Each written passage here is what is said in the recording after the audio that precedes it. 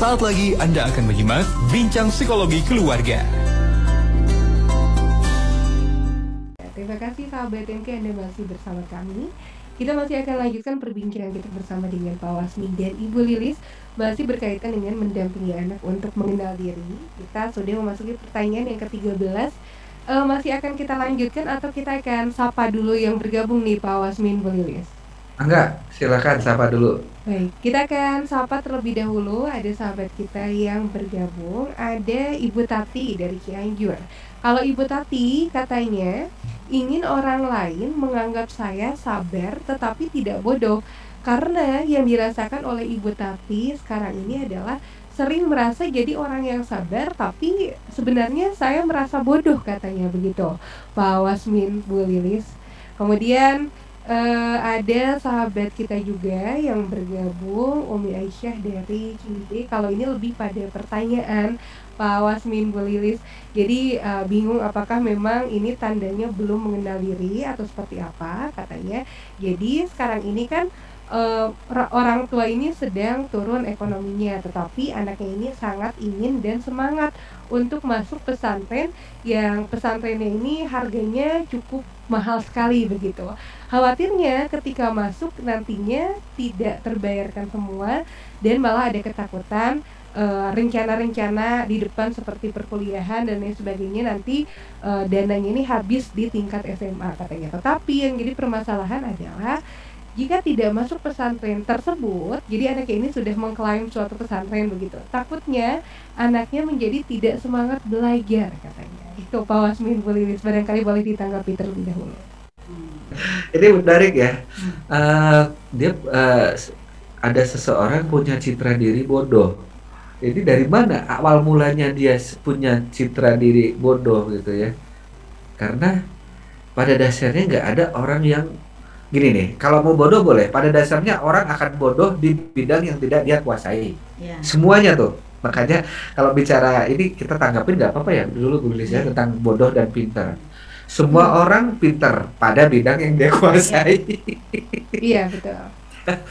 Jadi misalnya Teh Sarah menguasai announcer sebagai announcer, sebagai public speaker, sebagai MC misalnya tapi suruh masak bodoh bisa jadi gitu. Nah, mohon maaf misalnya gitu ya. Betul. Nah, tapi ada yang juru juru masak tuh chef pinter di urusan masak. Tapi suruh ngomong bodoh dia bisa jadi gitu.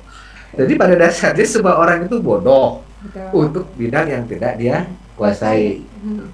saya sering sering ini dong kalau bicara tentang multiple intelligence ya. Habibie pintar. Jadi definisi pintar itu apa? Sebutkan orang pintar rata-rata karena nyebutin Habibie, Einstein, Thomas Alva Edison, gitu. ada yang nyebutin uh, apa lagi uh, Ronaldinho boleh lah gitu ya. Nah, tapi rata-rata kalau saya tanya siapa orang pintar rata-rata kesebut Habibie, hmm. Habibie pasti kesebut. Uh. Einstein yang nomor dua gitu ya. Coba definisi pintar apa? Mereka rata-rata definisi pintar itu yang bisa mengerti segala hal gitu. Nah, yeah. Salah adalah definisi pintar adalah kemampuan menyelesaikan masalah. masalah. Oh iya. Dan masalah setiap orang di sekelilingnya beda-beda. Ada Betul. orang di Afrika masalah di Afrika beda gitu. Di Indonesia Timur beda masalahnya. Kalau uh, tadi Thomas Alva Edison suruh ngebodor, kayaknya bodoh. Uh, lebih pinter Sule, lebih pinter Sule untuk ngebodor gitu. Tapi Sule suruh meneliti di meneliti fisika oh liar mana gitu Oke, jadi kalau Habibi sama Bidan, Bidan ya Bidan yeah. Murti misalnya ya, Bidan Murti. Habibi sama Bidan di ruang persalinan, coba siapa yang bodoh? Habibi pintar bidan ya betul. Habibi sepertinya tidak akan mengerti ya. ya pintar bidan, yang bodoh Habibi. Tapi kalau di hangar pesawat gitu, bidan jadi bodoh, ya pintar Habibi gitu. Nah makanya orang kalau oke okay, kalau kita bicara bodoh, pasti orang bodoh pada bidang yang tidak dia kuasai. Kalau kita bicara pinter, semua orang pinter hmm. pada bidang yang dia kuasai. kuasai. Nah makanya uh, yang dimaksud sabar, sabar tapi pengen pinter. Karena selama ini sabar saya sebenarnya bukan sabar, tapi karena bodoh.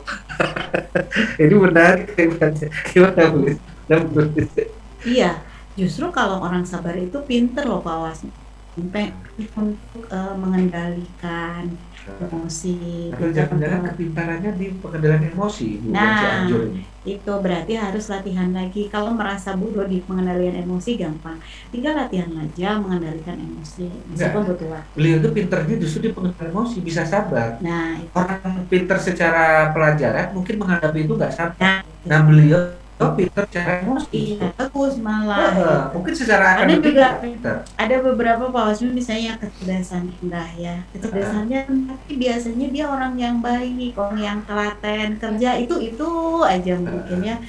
Nah itu. Jadi uh, ya dia pintarnya mengendalikan iya iya. Itu bisa di kemarin gini teh Teh Sarah, jadi ada ada teman yang kepilih jadi anggota dewan gitu ya dari salah satu partai ya kemudian habis kepilih itu kemudian beliau jadi wakil wakil yeah. salah satu wakil dewan gitu dan akhirnya menganggarkan untuk bintek akhirnya dia cari tempat supaya bisa ketemu tuh ceritanya uh-huh. nah beliau itu kalau suruh bicara di depan umum itu termasuk mimpin sidang itu keder keder gitu yeah. tapi kalau untuk ke masyarakat dia hebat gitu hmm.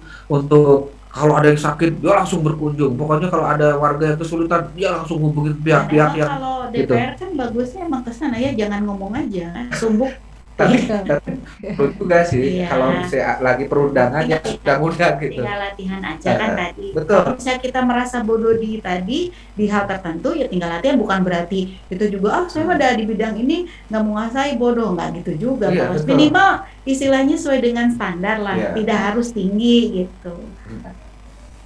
Akhirnya ketika saya bantu lo emang kak kehebatan kamu di sini? Saya bilang kan ini teman masalahnya jadi saya lo gua kadang-kadang kan kehebatan lo di situ memang.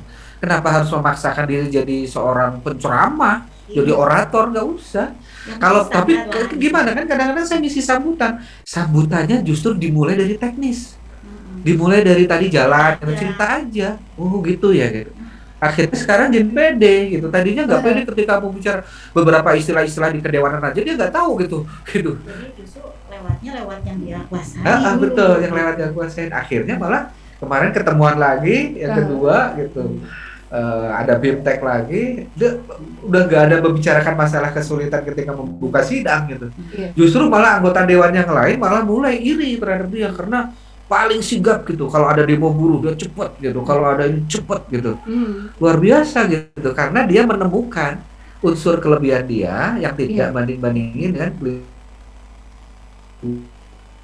banyak orang. Nah bisa jadi dari Cianjur nah, ini menulis, mungkin secara akademik dia nggak jago, nah, gitu. tapi mengelola emosi. Gitu.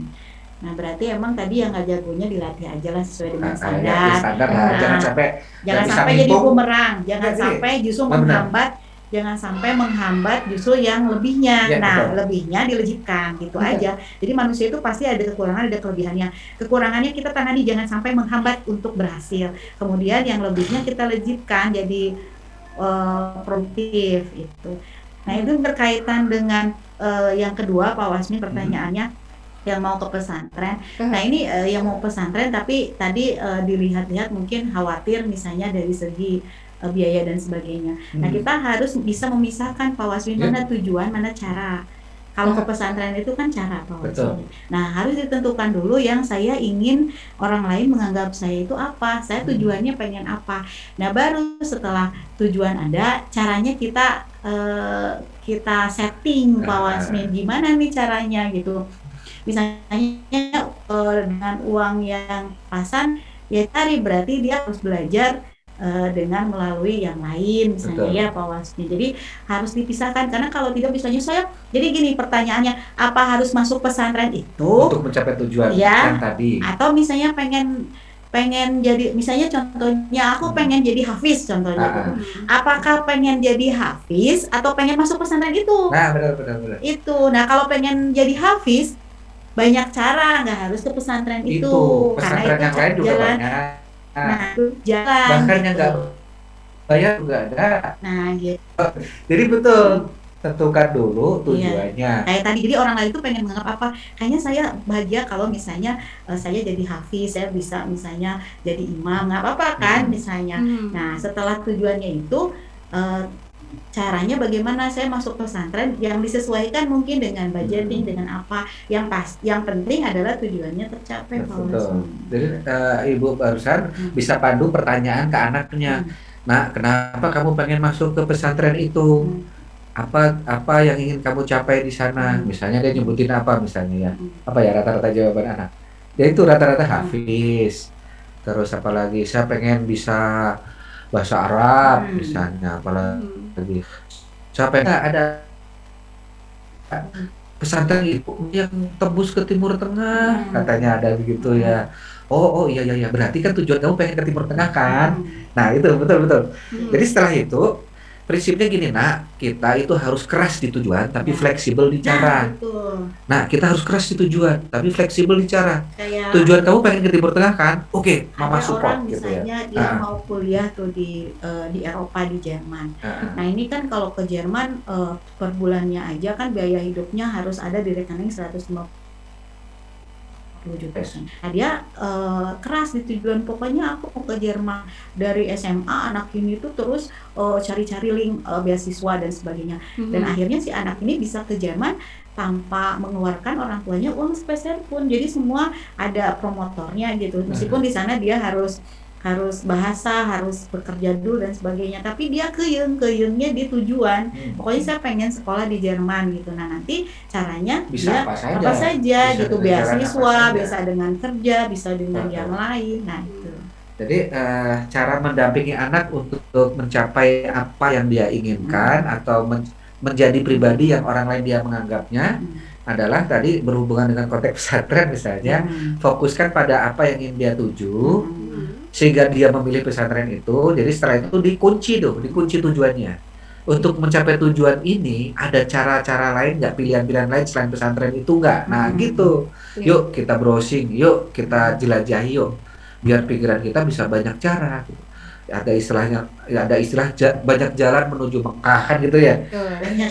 Ya kan bisa lewat darat bisa lewat udara bisa lewat uh, haji karena kemampuan sendiri bisa haji karena macam-macam julukan haji kan? Apa sih sebut? Ada haji. Haji. Haji itu. Haji hadiah. Hadiah. Sampai kalau saya dengar julukan-julukan karena macam-macam. Ada yang hadiah dari atas saja, hadiah Betul. dari ini, macam-macam. Dulu. Nah, jadi ada ada yang ahli nih berhubungan dengan kebodor tentang macam-macam haji. Karena banyak cara menuju Roma. Iya. Ya. itu ya teh. Ada lagi teh yang masuk? Baik. Uh, masih ada, ada Ibu Ani dari Lembang, uh, Pak Wasmin Belilis katanya Bu Ani ini saya ingin dianggap orang ngerti karena tanah lahan saya sedikit-sedikit dikeruk pinggir-pinggirnya. Seakan-akan saya tidak tahu bahwa tanah saya ini akan berkurang katanya. Kata Bu Ani dari Lembang. Saya pengen jadi apa? Orang apa tadi? Ingin dianggap orang lain bahwa Bu Ani ini orang yang mengerti begitu berkaitan dengan urusan tanah gitu. Oh, bukan mengerti kali teh. Uh, pengen dianggap ada karena itu orang seperti nggak anggap kita nggak ada aja yeah. itu seenaknya ngegerusi pagar batas gitu sampai ada ya ya Bu Lilis yang sampai nulisin gitu rumah ini tidak dijual kan biasanya ada pelang ya. rumah ini dijual gitu ya. Betul. Dia sampai tulis di depannya rumah ini tidak dijual karena mungkin dia udah capek banget gitu. Banyak yang nanya, nanya dijual nggak? Dijual. Karena emang agak rumahnya agak kosong gitu gitu ya. Sampai di nanya ke RT gitu. Sampai RT-nya juga kesel itu Pak, gimana? Kenapa rumah Bapak teh banyak yang nanya gitu ke RT iya. ke tetangga. Atuh tolong atuh gitu tulis satu rumah ini tidak dijual biar kami tetangganya nggak diketok nggak kami nggak telepon gitu. mungkin gitu ya mungkin ya soalnya soalnya sampai ada tulisan rumah ini tidak dijual gitu kalau ini berarti tulisannya uh, rumah saya dari patoknya dari sini. Nah, pasang patok teh, pasang patok, sesuai undang dengan, RT RW sesuai gitu. dengan di sertifikat. Sesuai sertifikat gitu. Hmm, Ist, istilahnya kalau kita di di di komuni, waktu bahas komunikasi itu jadilah pribadi asertif. Betul pribadi asertif itu pribadi yang tegas, Aha. pribadi yang bisa mengungkapkan kegelisahan, uh-huh. pribadi yang bisa uh, menekan ketidakenakan demi hubungan yang lebih panjang. Yeah. Kenapa kalau kita jadi pribadi tegas, meskipun kita khawatir nanti jadi putus silaturahmi, kok malah hubungannya jadi lebih panjang? Karena ketegasan bisa menciptakan keadilan. Oh, Keadilan itu bukan hanya ke orang lain ya, Iya. ke dalam diri sendiri juga harus adil. Ah, Makanya orang yang adil terhadap diri sendiri, salah satu ciri dari enam ciri adalah dia ber- bisa mengatakan tidak. betul. Berani Orang ciri-ciri ya. orang yang bisa adil terhadap diri sendiri, dia bisa mengatakan tidak dari berbagai ciri. Nanti kita bahas ya ciri-ciri Aha. orang yang adil terhadap. Kalau nggak salah malah kita- pernah kita bahas ya.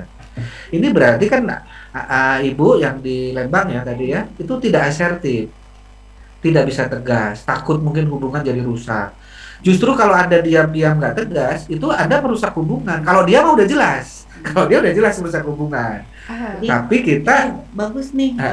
eh, yang ke-13 itu saya pengen dianggap oleh orang lain. Nah, berarti langsung tambahi gimana caranya biar saya dianggap tadi misalnya saya itu punya tanah, tanah saya tidak sedikit demi sedikit digerus.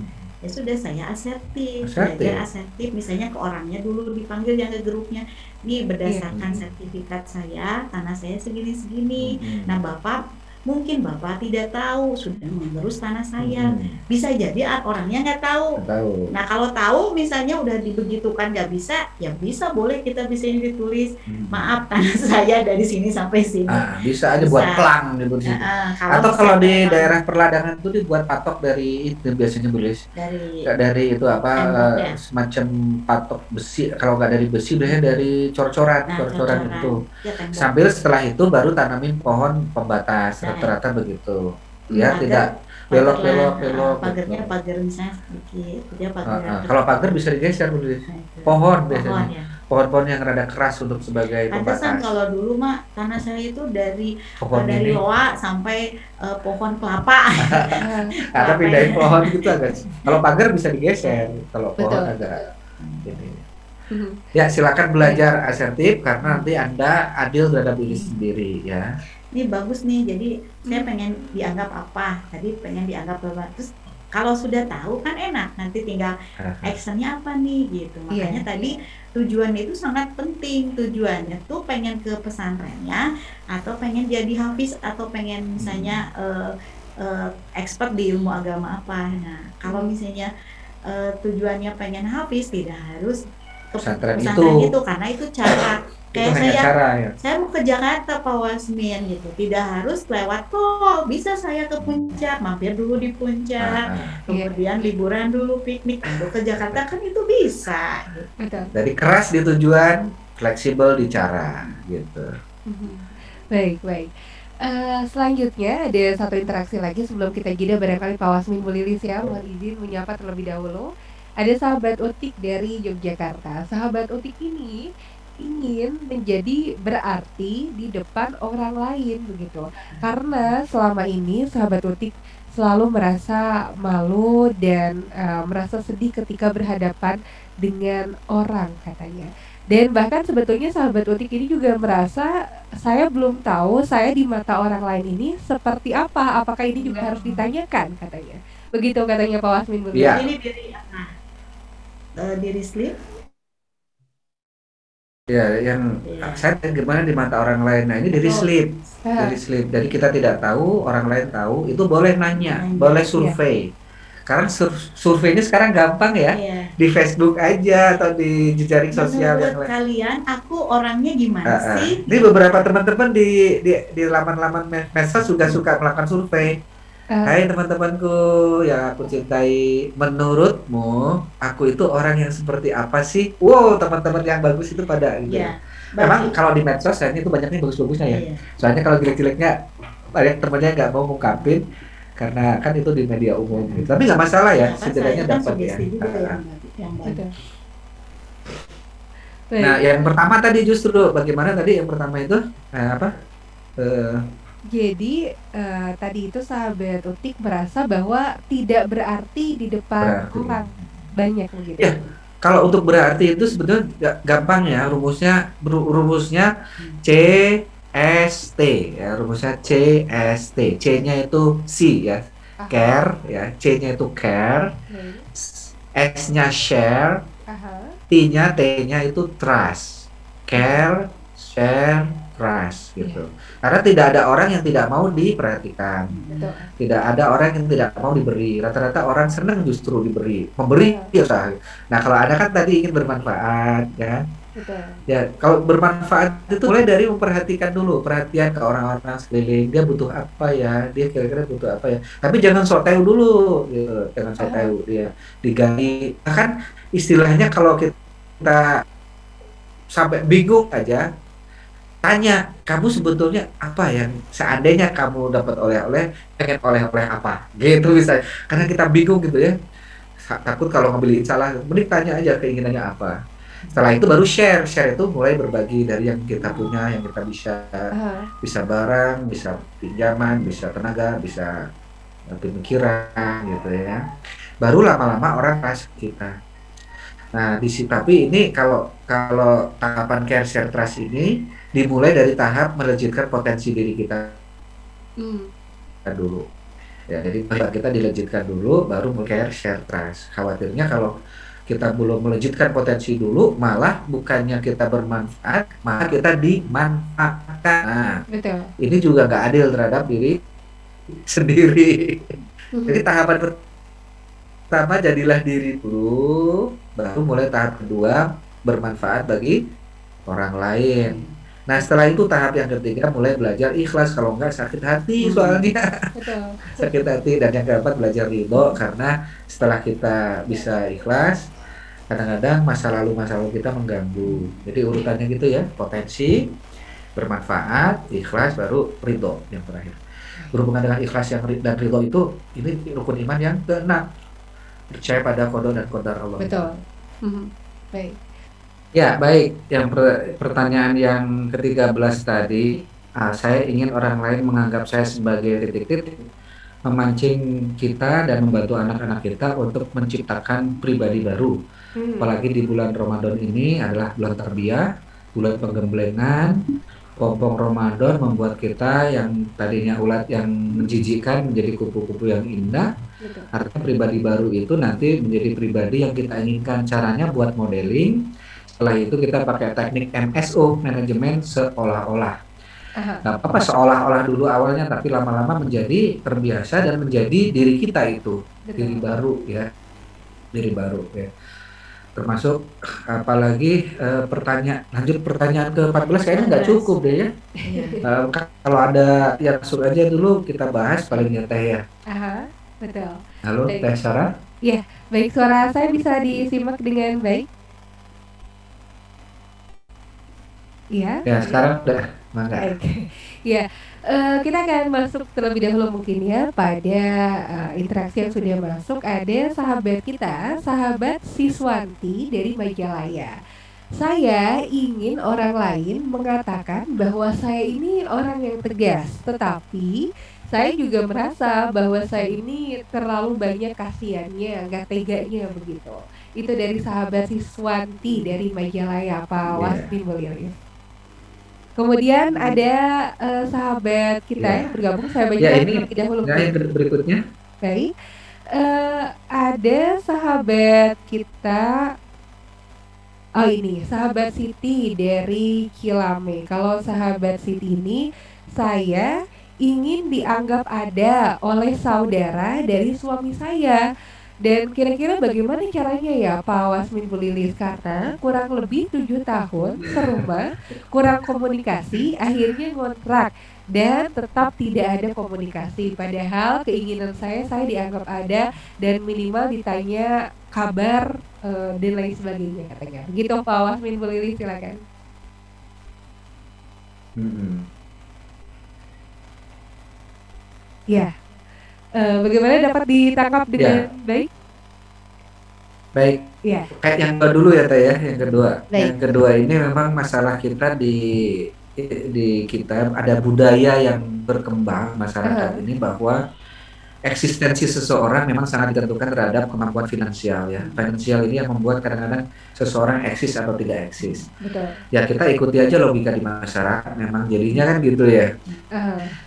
Jadi kalau dianggap sama keluarga suami, ya bisa jadi memang tidak ada faktor-faktor yang membuat kita perlu dianggap, ya sila ini jadi pemicu aja untuk kita lebih berprestasi. Iya. prestasi lebih apa kira nah, lebih produktif prestasi apa yang di keluarga suami kira-kira Nah, memang secara umum rata-rata prestasi di finansial ya. Finansial atau di pendidikan juga bisa. Iya, di pendidikan. Hanya kalau dibandingkan kadang-kadang kalau di pendidikan kita jadi mencapai gelar apa gitu atau anak kita mencapai gelar apa di, di keluarga yang seberang gitu ya keluarga seberang gitu. Nah, kadang-kadang masih belum dianggap sebagai kalau kita mampu secara ekonomi menunjukkan apa atau bermanfaat dari sisi ekonomi gitu. Betul. Logika ini kadang-kadang memang jadi tidak bagus kalau menjadi standar ke orang. Hmm. Tapi kalau orang pakai standar itu dan kita nah, ngikutin, nggak masalah sih. Bagus juga sih buat kita juga kan. Lebih menantang lagi. Lebih menantang. Iya. Ya, Pak. Berarti harus diikuti logika itu. Artinya ya jadi perempuan yang lebih produktif gitu dan setelah itu baru bisa dirasakan manfaatnya ya mungkin oleh-oleh apa jadi orang mulai melihat eh dia ngirim ini mulai eh ini uh, lama-lama mulai nganggap. Itu yang paling umum di uh, sosial. Meskipun mungkin teteh juga sudah punya jawaban ya. Hmm. udah kok pak saya nggak kurang saya ngasih ini hmm. ya. Nah, nanti kalau itu bisa lebih bisa lebih dalam lagi ya konsultasi. Tapi secara umum kayak gitu uh, orang kayak gitu yang pertama tadi yang pertama tadi apa teh? Baik, tadi yang pertama sebentar saya buka lagi. Oh iya, jadi ingin dikatakan oleh orang lain bahwa sahabat kita ini tegas begitu. Tapi Oh iya, tegas. Apa yang membuat Bu Lilis tegas ya? Begitu. Iya. Apa yang membuat Bu Lilis bisa tegas? Saya nah, membuat saya tegas. Kan ada juga, ini kan yang nanya perempuan. Jadi ya, apa betul. yang membuat perempuan bisa tegas dan kenapa perempuan nggak tegas? Uh, mandiri kemandirian membuat kita bisa lebih tegas. Hmm. Kalau suami mau nikah lagi juga Bu Lili nggak boleh tegas gitu ya. Ya silakan. Kalau anak ini juga tegas, gitu. hmm. karena mandiri. mandiri. Jadi ketegasan berbasiskan kemandirian. Karena kemandirian bisa. itu kita lebih mudah menggantungkan pada Allah. Ya kemandirian terutama kepada ya. Allah juga membuat kita bisa jadi lebih tegas. Iya, jadi mandiri. Oke, okay, berarti uh, ada tambahan juga selain tadi kemandirian dan ketergantungannya hanya pada zat tempat kita bergantung ada juga dari sisi pengetahuan akibat resiko jika tidak tegas. Hmm. Yang tadi salah satunya bahwa ketika kita tidak tegas terhadap sesuatu yang menurut kita nggak bagus, kita sebetulnya sedang menjolimi diri sendiri. Termasuk apalagi kalau kita seorang tua pada anak, kalau kita tidak tegas, sebetulnya kita sedang melakukan yang disebut toxic parent, oh. toxic parent atau orang tua beracun. Ketidaktegasan orang tua itu meracuni anak. Di banyak konteks yang dari survei-survei kami klien-klien kami itu orang tua yang tidak tegas itu telah memberikan racun ke anak. Dan di dunia ini ada racun ada dua jenis racun ya tulis ya. Racun yang tidak enak yang mematikan seperti uh, sianida ro rokok atau macam-macam ada racun yang mengenakan yaitu sebut dengan gula hmm, iya. gula itu pada pada kadar tertentu itu bisa menjadi diabetes jadi ya, racun orang tua yang tidak tegas itu rata-rata memberikan gula-gula yang nanti menjadi penyakit di kemudian hari ya hmm. toksik namanya. Nah kalau dengan pengetahuan itu ditambah lagi dengan tulis belum bisa juga tegas. Nampaknya ini harus konseling lebih lanjut nih. Kayaknya ada trauma-trauma nih di masa lalunya. Yang ini biasanya dengan hipnoterapi. Nah Ramadan ini rencananya kita juga akan buka kelas hipnoterapi. Uh -huh. ada beberapa perusahaan yang meminta untuk uh, privat, uh, sorry bukan privat, ada yang pri minta privat juga, ada yeah. perusahaan yang minta in-house. Tapi kita juga membuka publik untuk publik, silakan yang berminat sambil ngabuburit ya. Sambil ngabuburit, sambil kita, kita belajar hipnoterapi. Dalam artian di kepompong, nanti pas harus harus banyak diperbanyak pengetahuan. Iya, betul. betul. Yang berminat untuk ikut workshop hipnoterapi silakan ke 08 11 225 002. Mm -hmm. 08 11 225 002. Tapi kalau dengan konseling aja atau dengan penjelasan ini Anda bisa langsung mempraktekannya berarti nggak perlu hipnoterapi ya. Hmm. Itu tes Sarah ya? Baik. Baik, Alhamdulillah. Terima kasih banyak Pak Wasmin, Bu Lilis. Jadi nampaknya kita masih akan ada satu part lagi insya Allah ya. Iya, tadinya mau bahas tiga pertanyaan. Nanti Alhamdulillah Karena nggak apa-apa, sedikit dicicil, yang penting lebih ya. tajam ya pembahasannya. Betul sekali. Nampaknya untuk mengenal ini, uh, mengenal diri juga perlu proses yang begitu lumayan ya Pak Wasmin, Bu Lilis. Betul. Baik, di akhir barangkali ada pesan yang ingin disampaikan untuk para sahabat MK, para orang tua terutama yang sedang menyimak di rumah silakan. Ya, terutama sekali pesannya untuk agar orang lain menganggap kita apa berarti itu adalah pribadi baru yang ingin kita ciptakan yeah. atau diri artificial. Nah, yang perlu digarisbawahi orang di artificial sering disalah kaprahkan dengan palsu. Palsu itu bohong, beda itu dengan artificial. Artificial itu buatan. Mhm. Gak ada masalah dengan buatan karena kita disuruh berbuat baru, suruh mengcreate diri kita baru, punya kemampuan baru, skill baru, yeah. baru, bahkan spiritualitas baru ya agar kita menjadi pribadi yang lebih baik setelah melewati kelompok Ramadan ini. Ya, dan saatnya bulan ini tepat sekali untuk hal itu. Iya. Iya. Baik, terima kasih. Ya. Terima kasih banyak Pak Wasmi Bu Lili. Sama-sama. Selalu selamat beraktivitas kembali. Wassalamualaikum warahmatullahi wabarakatuh. Waalaikumsalam warahmatullahi wabarakatuh.